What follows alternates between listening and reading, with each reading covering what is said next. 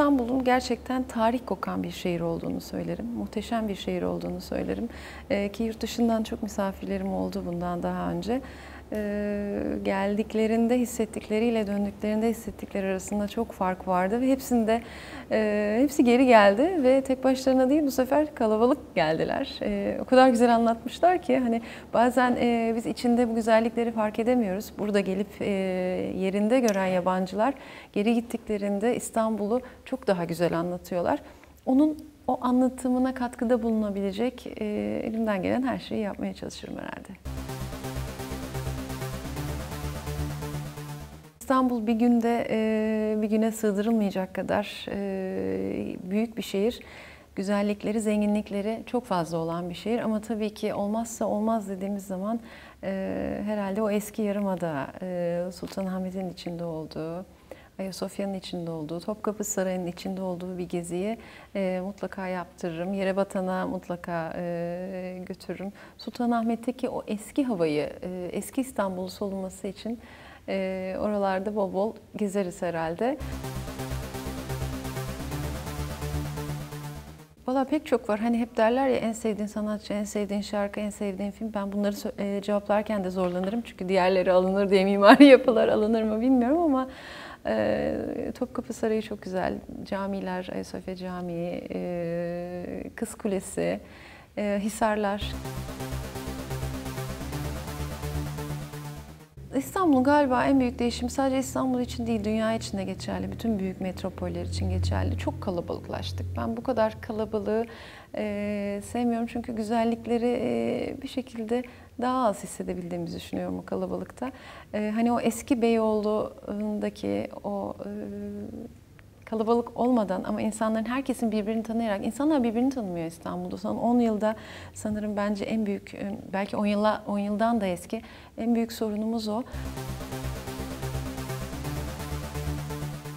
Şöyle söyleyeyim, İstanbul'un çevre düzenlemeleri gerçekten e, çok hoşuma gidiyor. Çok güzel, e, özellikle çiçeklendirmeler, e, güzel, e, insanların hoşuna gidecek. Hani yoldan bile geçerken sağa sola baktığımızda hani hırpani ve hiçbir şeye benzemeyen yapıları tabii ki görüyoruz ama onun yanında yeşilliklerin çok güzel değerlendirildiğini görüyorum. Bunlar çok hoşuma gidiyor. Ee, ama e, onun dışında yabancı e, sanatçıların konserleri çok fazla oluyor. İstanbulluların bunlara çok fazla ilgi gösterdiğini görüyorum. Ama onun yanında e, belediyelerin yaptıkları konserlerde de e, yerel sanatçılarımıza ilgiler e, fena olmuyor. Ama bunları biraz daha... E, açık hava konserleriyle birleştirip o iki e, doğu ve batıyı daha birleştirebiliriz gibi geliyor.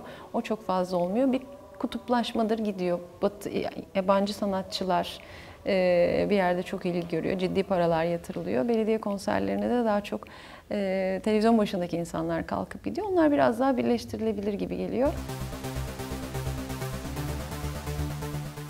E, tabii benim e, hayat amaçlarımdan bir tanesi olan sokak hayvanları sorunu büyük bir sorun. E, ama onun içinde ben İstanbulluların, özellikle eski İstanbulluların o vicdanları, vicdanlı insanların e, çok önemli etkileri olduğunu düşünüyorum. Hala insanlar sokaktaki hayvanları besliyorlar. O bir kap su kampanyalarımız gayet iyi gidiyor. E, tabii ki çok sorunlu hayvan var. E, orada da belediyelerden e, ve valilikten aldığımız yardımlarla bir şekilde onların daha iyi koşullarda yaşamalarını sağlamaya çalışıyoruz. Ormanlara atılan hayvanlar gene e, hala büyük bir sorun. Onun dışında herkesin e, ortak sorunu dediğimiz trafik sorunu tabii ki var. Ama ben birazcık da trafik sorununa iyi yönden bakmaya çalışıyorum. E, trafik e, bir yerlere gidemiyorken o vakti iyi değerlendirme yolunu seçmeye çalışıyorum. Radyoları daha çok dinliyorum.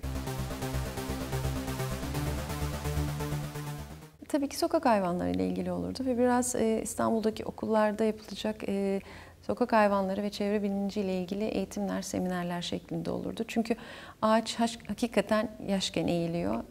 Çocukları biraz daha bilinçlendirebilirsek bir 10 yıl, 20 yıl sonra bu sorunlar kendiliğinden çözülecek. Gelecekte görmek istediğim İstanbul, e, bundan daha fazla kalabalık olmasın isteyeceğim bir İstanbul. E, biraz daha İstanbul çok büyük bir şehir. E, belli yerlerde yoğunlaşan nüfusların biraz daha kenarlara yayılıp daha doğayla iç içe olduğu, daha yeşille iç içe olduğu bir İstanbul'u daha çok hayal ediyorum. İstanbul'u anlatan gerçekten e, pek çok e, eser var. E, ama şarkılardan konuşacak olursak Sertab Erener'in İstanbul şarkısı e, en iyi anlatanlardan bir tanesi. Ama özellikle de klibi de e, şarkının ruhuna uygun olarak çekildiği için herhalde Sertab'ın İstanbul şarkısı diyebilirim sorun cevabına.